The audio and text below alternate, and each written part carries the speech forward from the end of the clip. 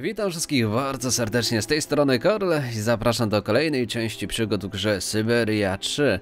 No to nareszcie jesteśmy w Walsemborze. Myślałem, że będzie tutaj nieco przyjemniej dla oka, no ale to w końcu ten syberyjski klimat. Oczywiście syberyjski w kontekście poprzednich części gry, niekoniecznie tego, co w tej chwili mamy na Syberii.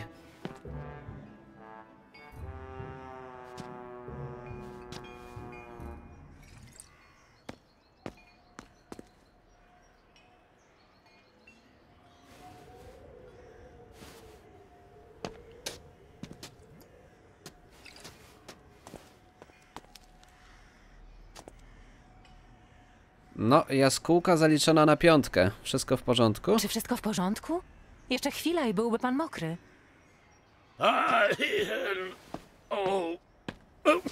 Słucham? zwał mnie kapitan Obo. Obo! Dumny komandor do no dumnego kryształu. Żaden tam, proszę pan. Hmm, miło mi, kapitanie. Jestem Kate Walker. Szukam warsztatu zegarmistrza Steinera. Jak miałbym wpaść do tej wody, wolałbym trafić do piekła. Lepiej trzymać się od niej z daleka, jasne, nie? Ten drań tam na mnie czeka. Nie wiem, o kim pan mówi. Potwór z jeziora czyha na nas wszystkich, panienko. Przy... Przyjdzie czas na każdego z nas. By dokończyć dzieła, trzeba wrócić do walki. Bowiem trzeba zawsze zachowywać czujność. Zawsze.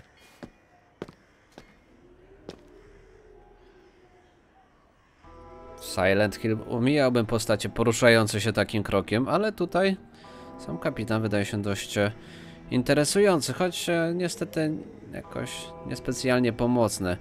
Iść na statek? Raczej nie. Najpierw mamy... O, tylko nie dowody. Znaleźć Simona Czarnoksiężnika. Ktoś pamięta taką grę?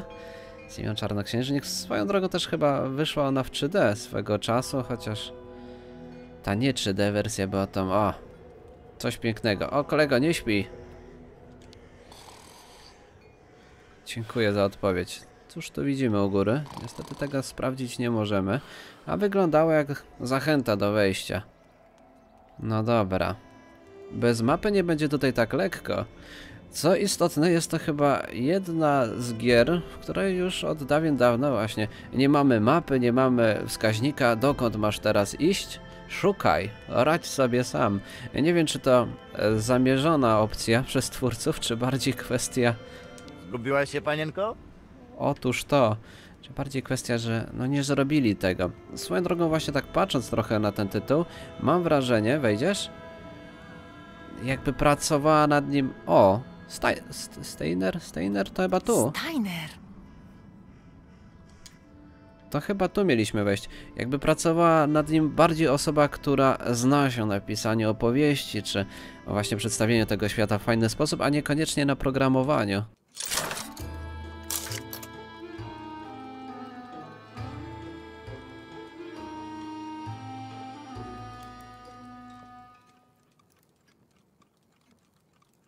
Dzień dobry. Szukam pana Steinera. Ta? Przepraszam, że panu przeszkadzam. Nazywam się Kate Walker. Przyszłam odebrać protezę dla Kerka, duchowego przywódcy Jukoli. No i cóż, panienko Walker. Doktor Olga Jefimowa powiadomiła mnie, że młody człowiek nie jest jeszcze gotowy na operację. A więc Panie Steiner, wszystko w porządku? to. to jest niemożliwe. Naszyjnik, który ma pani na sobie. Byłbym wdzięczny, gdyby powierzyła mi go pani na moment. Proszę, panno Walker.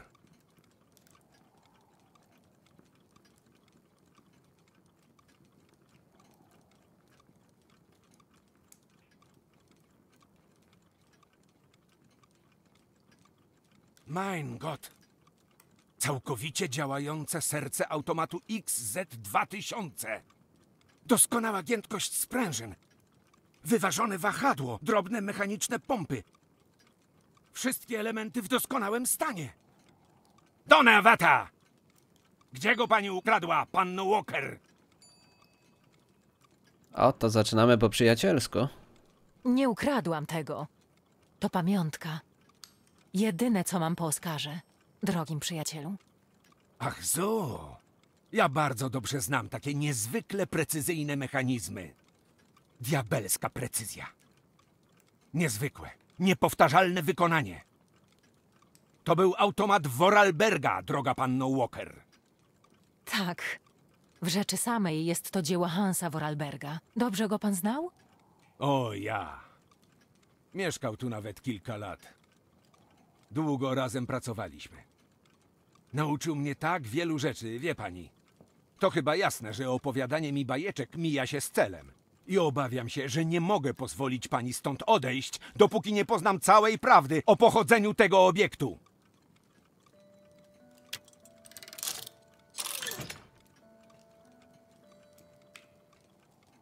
Okej.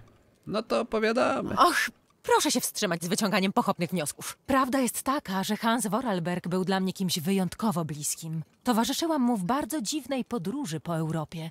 Przedmiot, który trzyma pan w ręku, to jedyna pamiątka, jaka została mi z tej wyprawy. Ależ to żaden dowód, Himmelherrgott! Hans nie przekazałby tego jakiejś...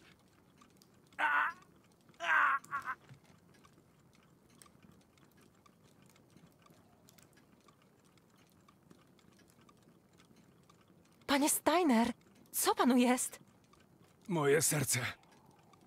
Muszę zażyć lekarstwa. Szybko! Tylko spokojnie. Za moment przyniosę panu leki. Oho. Nigdzie nie widzę leków. No właśnie, to tak. To jest lek?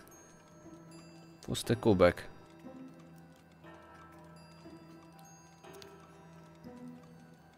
Prototyp do szpitalnej ptaszarni? Tak, pooglądajmy sobie Proszę ptaszki. się czuć jak w domu. Jestem tutaj tylko właścicielem. Czy już się lubimy? No dobrze. O. O. Na swój sposób to Kto przerażające. przechowywałby leki w takim bałaganie? Nadal nic. O, i to się robi coraz straszniejsze. Tak trochę klimatycznie czasami to podchodzi. O.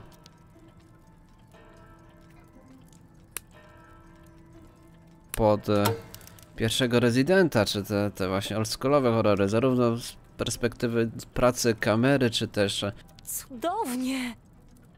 no nie wiem, e, czy też e, z perspektywy liczby klatek i tak dalej, i tak Stare dalej. notki prasowe.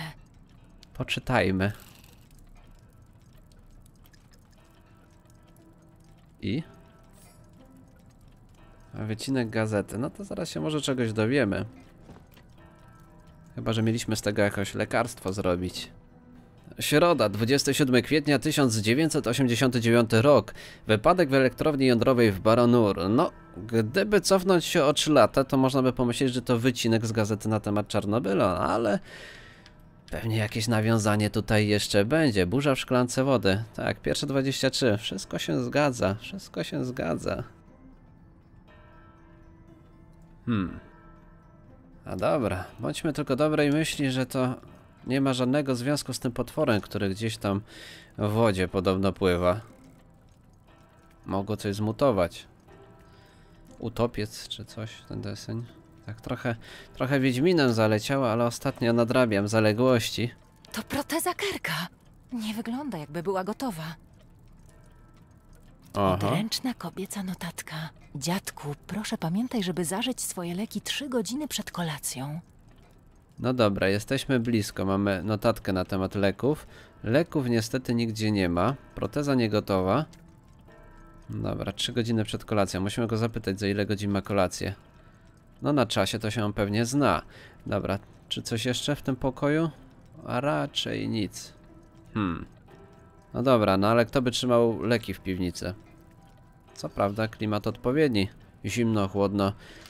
A może przeszukamy kasę? Tam się na pewno kryją. No dobra. Szufladę. Pusto. Zrobimy bałagan. Nie ma leków. Oj, nie ma. Kolega ma niezwykle ciemno tutaj w środku. Tu też nie ma leków. W sumie to schowajmy. Jak dwa młoty? Sierp i młot. No dobrze, lecimy dalej. To mu prędzej zaszkodzi niż pomoże. Co go nie zabije, to go wzmocni, koleżanko. Dobra, ta korbka to też raczej nie leki. O hopie. Tu wygląda jakby coś mogło być, ale jeszcze... Nie, tu nie. Trzeba było zobaczyć, co się kryje. Nic, co by pomogło. O! To niedobrze. O, mamy. Chyba, że to jest jakaś e, zagadka, które szuflady mają być sensu. wyciągnięte, a które schowane. Dobra, szukamy dalej. Aha, Recepta. Nie ma to jak pominąć najważniejszą rzecz. No dobra, recepta, ale recepta raczej też mu nie pomoże. Może będziemy mogli skoczyć szybko do apteki w takim razie. Recepta. Recepta na miłość, tak? Mhm.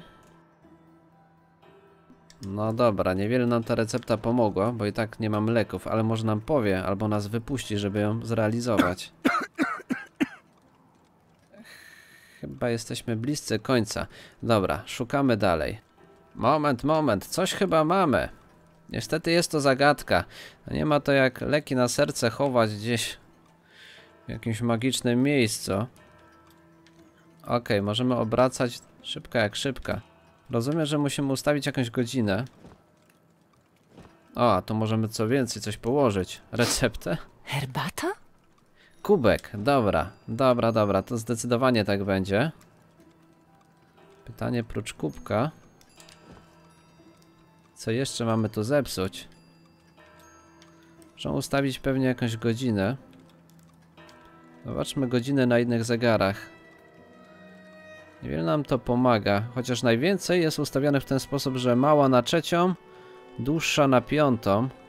Nie jest to standard, ale najczęstsza godzina Kolega nie umie sprzedać zegarów. Dziesiąta, czy tam druga, druga 50, czy tam dziesiąta 10, najlepsza godzina do handlu, no ale kolego, no nie dorobisz się z takim podejściem, zresztą długo nie pożyjesz, jeżeli leki chowasz, leki na serce, chowasz za jakimiś zagadkami. No cóż, może wnuczka podbierała. Będzie pasowało? Oby. Jak nie? A moment, jeszcze była ta pierwsza 23 wycinek z gazety. To może być istotne. Może kolega fan Czarnobyla nie gra. Dobra, ustawimy tą pierwszą 23, bo coś takiego było tu napisane, tak. Którą godzinę ustawić na zagadkę? A o której walnęło w Czarnobylu? No dobra, Czarnobyl odpada, ale jeżeli to jest zegar z kukułką, to może każda pełna godzina nas uratuje. Tak średnio chyba. Próbuję dojść do tego jeszcze, co mieliśmy z czasem. O właśnie, wskazówki się przesuwają. Tak czekałem od pierwszej 20 aż 23 wybije, ale to niestety nic nie dało. Jedyne co z czasem mieliśmy podpowiedź, że 3 godziny przed kolacją. Ale o której, dziadku, o której ty masz kolację na dobrą sprawę powiedz, bo ja kolację jem o Gdzie? 23. Moje lekarstwa. Dziękuję bardzo. Kolacja. 19. No to o 16. Leki. Chyba tak będzie trzeba. Jedyna opcja, jaka, jaka wchodzi w grę, to co godzinę gdzieś to ustawiać. Chociaż leki zazwyczaj o 18 się bierze, no. Zresztą. Dziadek? Nie. 12. Figa z makiem, jakaś oszukana tasowa. O 12 powinna wyjechać, a tutaj co mamy? Co mamy? I co się dziadku możemy za godzinę ustawiać? Nie wiem. No po kolei każdą pełną. O!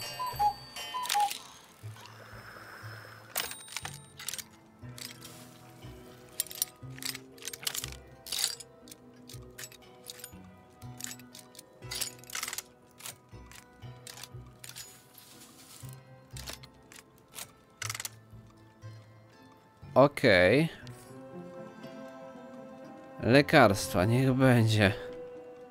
Chodź tu Kamil, musimy leki bierz. Wiesz co to, to się potrzeba. Obejrzyj. Tak to chyba działa. To o 20 kolację jesz?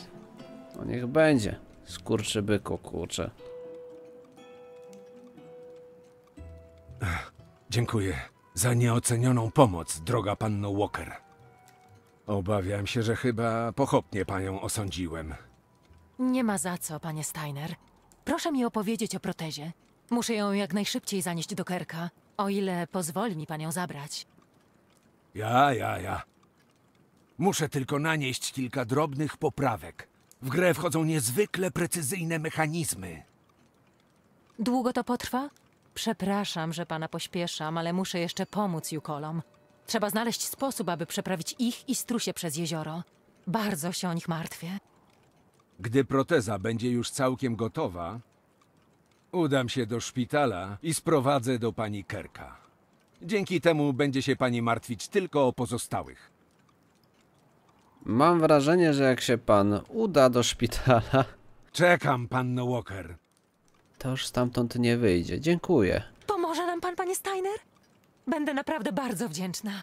Ja, perfekt. Jest pani świadoma, co czeka tych nomadów po drugiej stronie, kiedy już przekroczą jezioro? Co pan ma na myśli, panie Steiner? Kolejnym punktem podróży jest przeklęte miasto Baranur.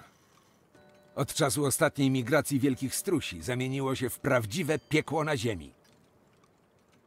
Niech pani na chwilę zejdzie na dół, panno Walker. A pokażę pani, co mam na myśli. Pierwszy facet, który zaprasza do piwnicy, a nie na pięterko, no ale niech będzie. Chociaż zazwyczaj ci z piwnicy są bardziej przerażający. Okej. O, znowu zabawa. To możemy sobie zabrać ze sobą? Nie bardzo, ale zazwyczaj w takich rzeczach kryje się coś, co możemy później podnieść i zabrać ze sobą w dalszą podróż. O, właśnie, z dołu najlepiej wziąć. To wygląda jak pieczątka. Niestety nią nie jest. Taśma filmowa. A rozumiem. Na filmy nas zapraszasz, tak? No inni zapraszali na znaczki. Może być na film. Powinien być obok półek, panno Walker. Proszę szukać filmu o Baranur. Mamy, mamy. Bach. I ciach. Oglądamy.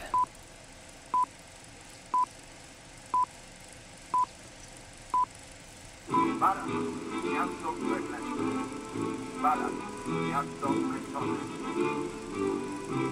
Ruina i pustoszenie wzięły je we władanie krótkopowego reaktora numer 3 z lokalnej elektrowni atomowej. Ważne, leżący po drugiej stronie jeziora jest odsłonięty przez jasny. Dzięki temu nie został poddany niszczycielskiej mocy promieniowania. Nasze miasto zmobilizowano do pomocy sąsiadom. Posiadaliśmy to prawda środki zbyt skromne jak na tak wielką katastrofę, ale wśród nas byli naprawdę genialni inżynierowie. Da się stworzyli armię automatów wiążących bezpłodnie będą pomogą ofiarom tragedii. Ci stalowi ludzie nigdy mogli iść tam, gdzie człowiek ryzykował bezbronny Pracowali w drogi na miejscu katastrofy, kopali, pomagali robotnikom transportować miasto. Oskar? Wszystkie wyglądają jak on. Prawdziwie imponujące dzieło. Niech dwa.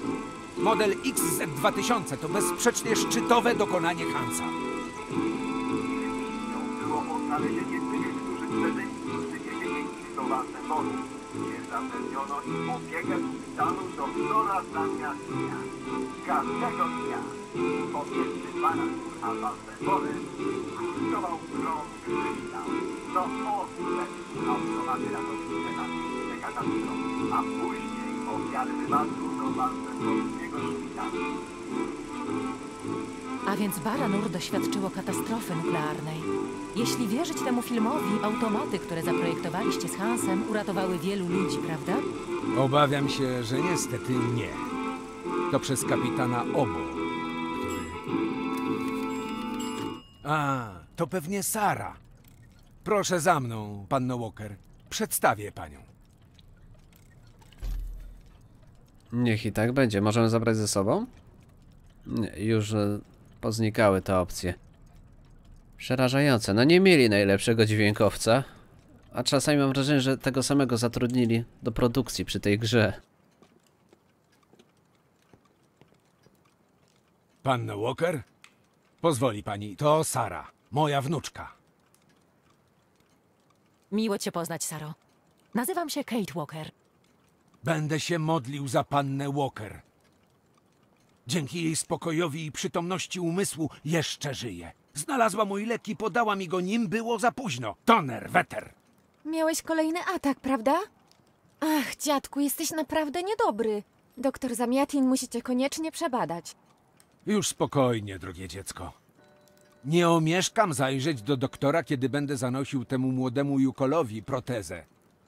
A póki co, może w jakiś sposób pomożemy pannie Walker.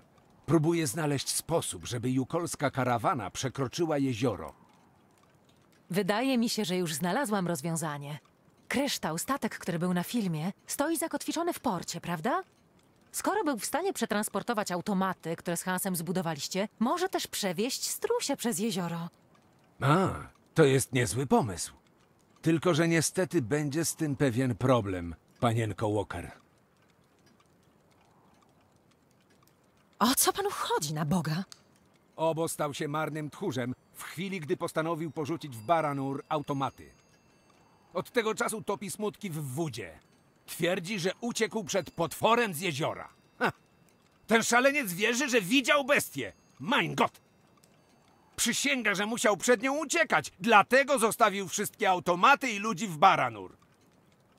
Dziadku, wiem, że jesteś wściekły na kapitana, bo zostawił w Baranur automaty, które zbudowałeś z Hansem, a miał na nie poczekać. Mieli zabrać wszystkich tych, którzy przeżyli katastrofę do łodzi, a potem bezpiecznie przewieźć tu, do Walsemboru. A gdy w końcu dotarli na plażę w Baranur, zobaczyli rozmiary tragedii i wtedy zaczęli się bać. Choćby chorób, promieniowania. Miał atak paniki, nie panował nad sobą i właśnie dlatego zawrócił. Wrzucił maszynerię kryształu do wody i szybko popłynął do Walsemboru, a automaty pozostały tam, w piekle. Kto to wie? Może dzisiaj chce to naprawić. Jestem pewna, że Kate przekona go, żeby pomógł Jukolom. Teraz muszę już iść do pracy, do tawerny. Wpadnij do mnie później, okej? Kapitan też tam będzie. No dobrze. Spróbuję przekonać kapitana Obo. Dziękuję za wszystko, panie Steiner. Nie wiem, czy powinienem życzyć powodzenia, droga Kate Walker. W Baranur nie zostało nic, to już mogiła.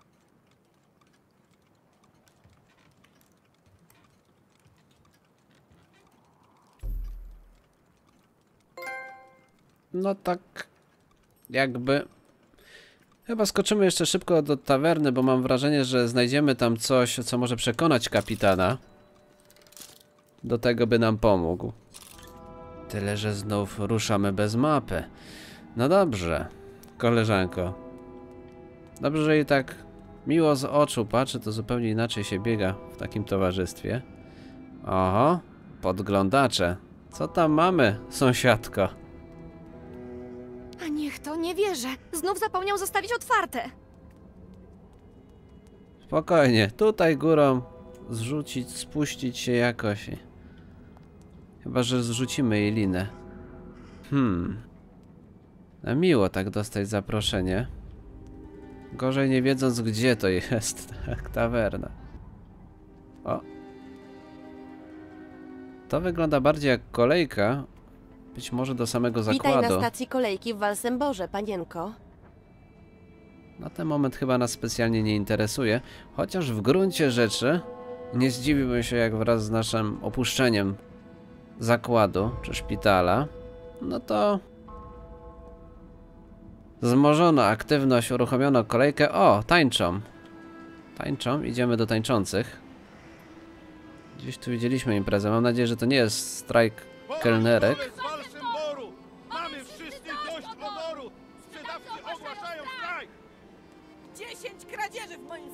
Odkąd się tutaj pojawili. Panie burmistrzu, kto zapłaci? Panie burmistrzu! Zapraszamy na balkon, robota czeka! No jak to kto? Ja zapłacę, ty zapłacisz, my zapłacimy. towary i klientów. Przepraszam, co się tutaj dzieje? A co, nie widać? Demonstrujemy przeciwko pobytowi Jukoli w naszym mieście. Ale dlaczego? Odkąd się tu zjawili, kradzieżom i wandalizmowi nie ma końca, a do tego podbierają klientów. Burmistrz Buliakin musi coś zrobić i to już. Nie odejdziemy, aż nas nie przyjmie. Dlaczego nie chce z wami rozmawiać? To zwykły tchórz, tak jak my chce, żeby nomadzi ruszyli w dalszą drogę, ale za bardzo się boi przełożonych. Gdy on gra na zwłokę i wstrzymuje decyzję, my ponosimy ogromne straty. Burmistrzowi nakazano przerwanie wielkiej migracji? Naprawdę chcą, by Jukole nadal tkwili w Walsemborze? Tak gadają, ale moim zdaniem burmistrz czeka, aż ktoś inny pozbędzie się tych dzikusów, żeby nie musiał brudzić rąk. Mamy na to rozwiązanie. Dobra, burmistrz, wpuścisz nas, czy tak średnio? Jakże też nie możemy biegać po tych schodach. Zawsze takie, chociaż dobrze tutaj. Z dobrej perspektywy ka kamera łapie. Hmm. Nas też nie wpuści. Dziękuję bardzo. No to w takim razie nie pozostaje nam nic innego, jak skoczyć do tawerny. No chyba, że ty kolego jesteś burmistrzem tego, tego miejsca. Sklepikarze strajkują pierwszy raz od wieków. To się nikomu nie przysłuży. Tak to widzę. Pewnie tak.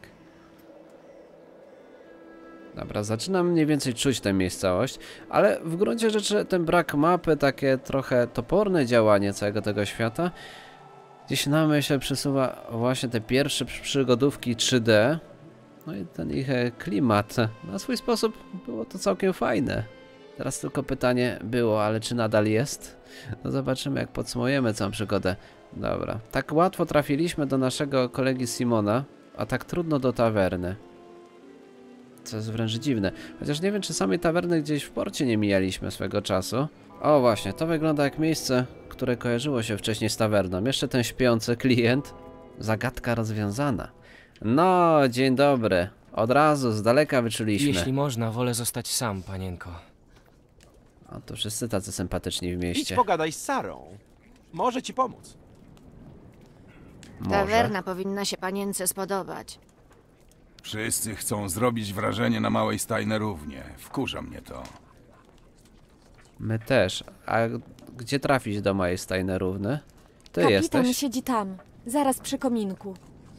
To zaraz podejdziemy do niego. Moment, kapitan są. Ten kształt tam w wodzie. Co to jest?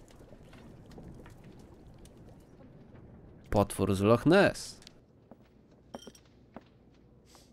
Kapitan Obo?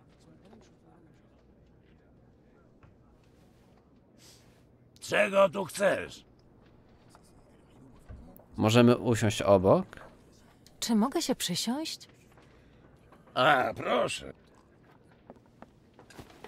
Cóż, przepraszam, że przeszkadzam, ale naprawdę muszę. Wiesz, że kogoś mi przypominasz? Żonę kwatermistrza, który służył na krysztale tuż po wojnie. Wyobraź sobie, ożenił się z ciotecznym bratem żony mechanika. A, okej. To naprawdę bardzo interesujące, ale chciałam tylko spytać. To przewyborne, naprawdę. No bo rozumiesz. No i tak. A on wtedy na to.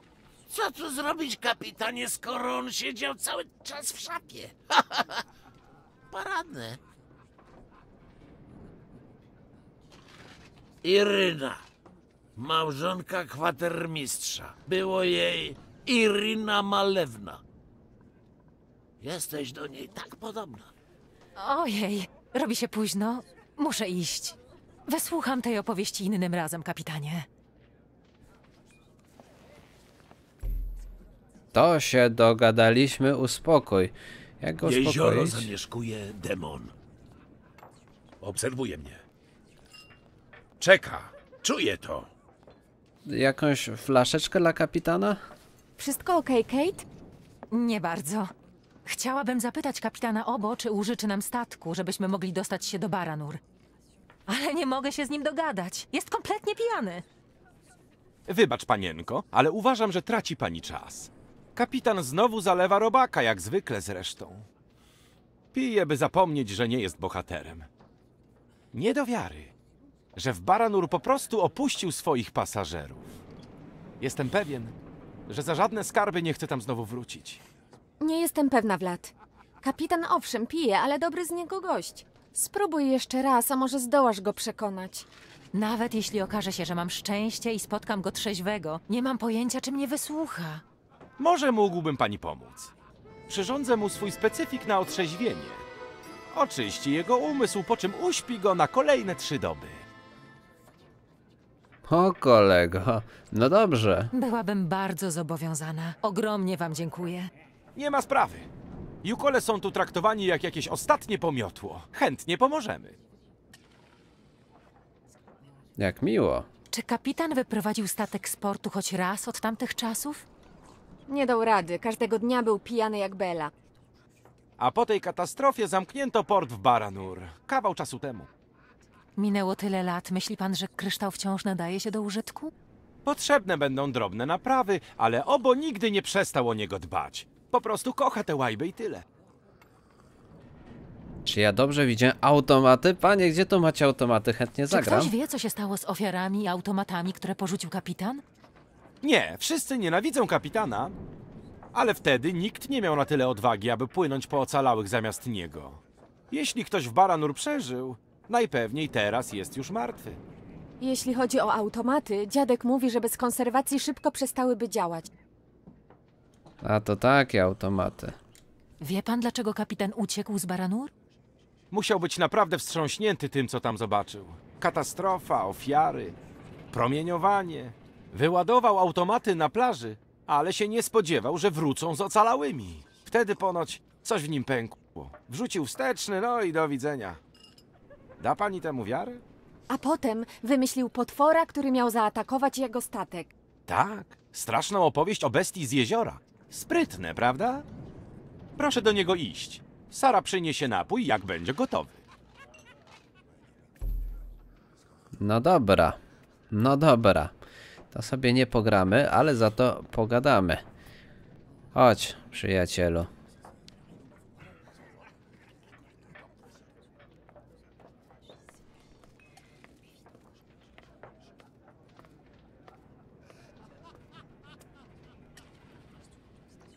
Proszę, kapitanie. Oczywiście na koszt firmy.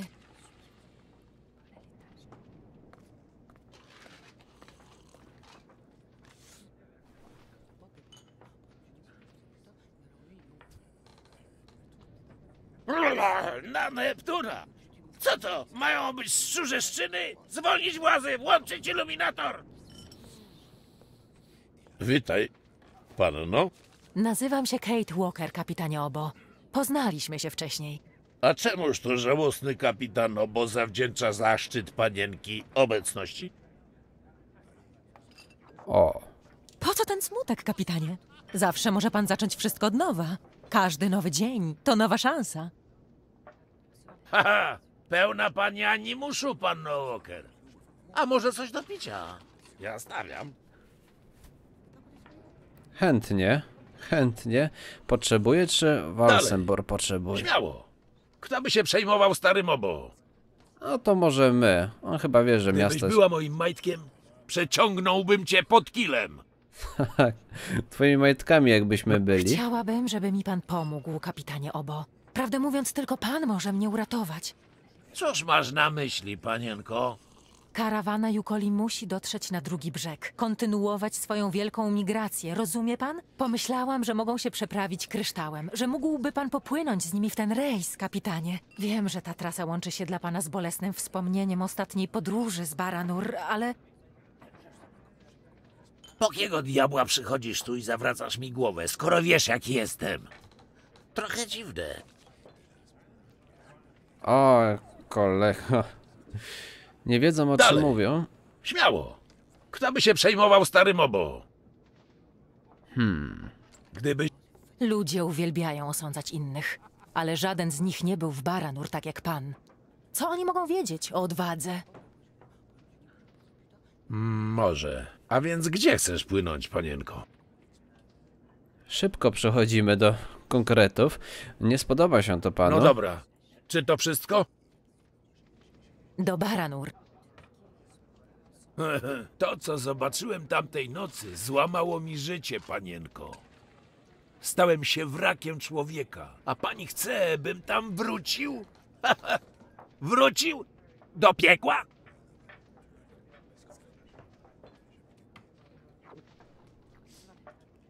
Widziałem czerwone ślepia bestii z jeziora. Bestii wielkie niczym moja łódź. Zapytaj Jukoli, czym jest ta bestia. Nazywają ją Quilak. To jest zły duch jeziora. Diabeł strzegący piekielnych wrót. Przecież chciałby pan dostać od losu drugą szansę, nieprawdaż? Nie. Nigdy. Hmm. W takim razie kupię pański statek. Skąd wiesz, że go sprzedam? Od lat nic z nim pan nie robi, to kompletny wrak. Nie ma pan środków na jego utrzymanie, a ja mam i potrzebuję go. To jest prom, nie żaden wrak. Baba ze sterami kryształu. W głowie się nie mieści. Jestem pewna, że gdyby na mostku kryształu stał odpowiedni kapitan, byłoby o wiele lepiej. Ale pan chyba nie rwie się do tej roli.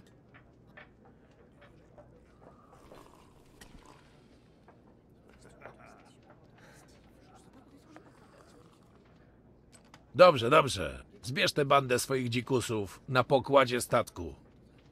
Wezmę was. Dziękuję, kapitanie, dziękuję. Z całego serca. W imieniu swoim i Jukoli. O, spokojnie, panienko. Jeszcze chwila. Mam dwa warunki. Nie do negocjacji. Pierwszy, przystanek w Nachodocku, miasteczko na południe od Baranur. Unikniemy w ten sposób skażonych stref, ale nie będziemy zbaczać zbytnio z drogi. Drugi, płyniemy tylko za dnia. Nie zamierzam wejść prosto w paszczę bestii. A ona śpi w ciągu dnia. Poluje wyłącznie pod osłoną nocy. Przejmuję warunki, kapitanie Obo. W takim razie cała załoga na pokład. Hm, Trzeba przygotować kryształ do drogi. Idź z nim, Kate. Upewnij się, że nic się nie stanie i nie zmieni nagle zdania. Przekażę dziadkowi, żeby dołączył do ciebie z Kerkiem. Dziękuję, Zaro.